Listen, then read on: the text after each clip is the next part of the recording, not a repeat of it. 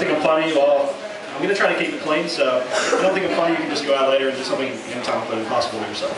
All right, so I'm kind of having a not the best day. I've really only got one pet peeve in life. However, it's something that's everywhere. Stupid people. Just in my own experience, I've come to the conclusion that probably around 80% of people are stupid. I mean, it's, it's definitely a problem. I mean, these are, the, the kind of people I'm talking about are the people that when they go to exit a building, instead of following the exit signs, they ask every single person they come across, can you tell me where the exit is? See, my opinion with any problem, you know, the first step is realization and acceptance. That's the only way we're going to get better. So if someone asks me, I don't tell them where the exit is. I point them to a sign and they say, oh, sorry, thanks, didn't see that. I'm hoping that's going to drop a thought in the head that maybe I'm a moron. I didn't notice that sign. See, I used to work at a clothing shop out in St. Armand's, and uh, you, it seemed like they would drop stupid people off every morning by the bus. I mean, we would have a sign on our door, no food or drink allowed, and yet it seems like every other person comes in, carrying their Kilwins and their Ben and Jerry's. Oh, hey, that sign just doesn't apply to me. You know, for the sake of cleaning out the gene pool, I wish that they would apply that logic to other situations, like getting off the interstate, red light. Well, obviously that doesn't apply to me. You also get people in. You think, you know, St. Armand's a little more upscale. People are willing to, to spend a few bucks. But you know, we do have you know the sales section, the section with you know damaged clothing with problems. You know, we got from the manufacturer. Maybe a logo's crooked. Maybe there's a random brown streak down the back. But, but one time we had one T-shirt. The defect on the shirt was, and it even said right on the label, like unusually wide. And to you an idea, so like the proportions here. Uh, sorry, run into that picture like a guitar, like a box that would, you know, a guitar could fit inside, turn it sideways.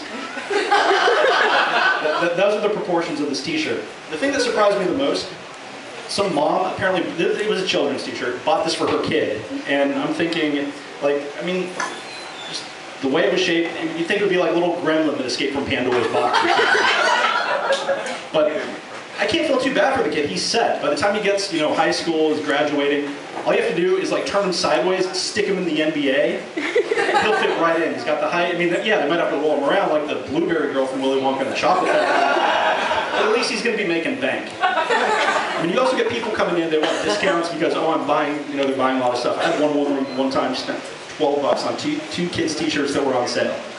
And she asked, can I have a discount since I'm buying so much? Hook, hook. I'm just thinking, yes, I can, but I said to her, no, I won't. I mean, just again, apply that logic here. You come here, get two PBR tall boys, ask Dawn for a discount. See how well that will go over.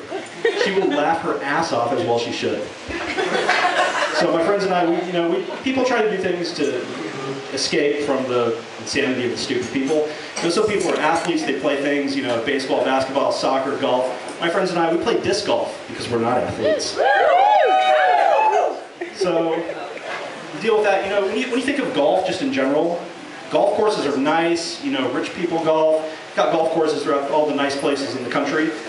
Disc golf, being golf's little red-headed stepchild, didn't really get that privilege. There are two disc golf courses in Sarasota. One behind Lake Sarasota, which is basically a plot of uninhabitable, um, uninhabitable swampland that they can't build houses on, so they figured, oh, we'll build a disc golf course. Thank you. And uh, the other one is down by the airport, just down the street from the dog track, a part of town where uh, you run into some people out there. Let's just say it's the kind of people that are climbing your windows, snatching your people up, if you know what I mean. so, so if I want to play disc golf, have somewhere and throw my disc in the water. I'm gonna have to go in and get attacked by leeches and possibly contract hepatitis.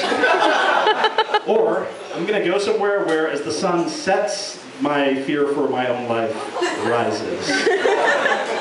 so you think there's one place you can escape from stupid people, especially when it comes to shopping? The internet. Online shopping, just avoid the people altogether. You think so, but no.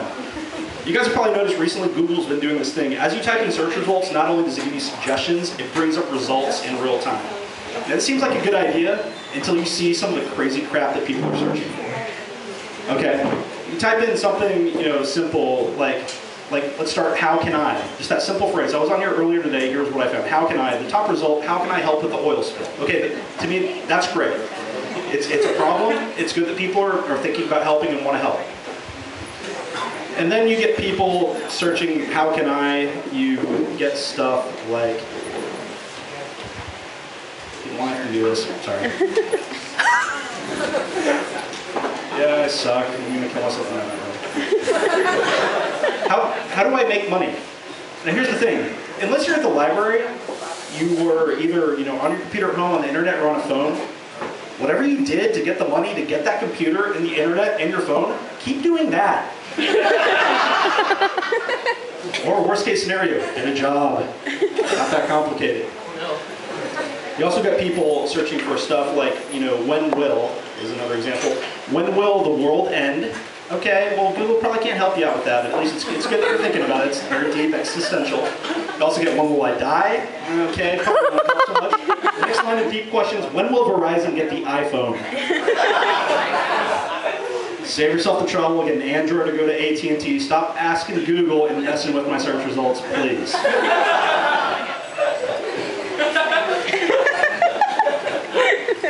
You also get stuff like, okay, let's go with where can I find is another good one.